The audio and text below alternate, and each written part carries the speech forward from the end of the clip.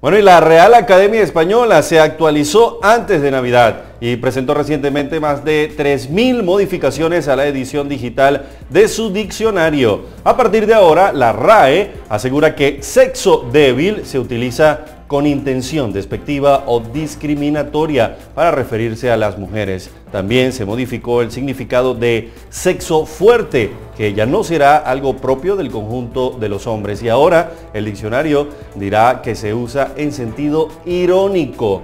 Anteriormente la RAE explicaba que sexo débil era conjunto de las mujeres y el sexo fuerte correspondía al conjunto de los hombres. Otras modificaciones importantes de la vigésima tercera edición del diccionario consisten en la inclusión de palabras como posverdad, heteropatriarcado o aporofobia.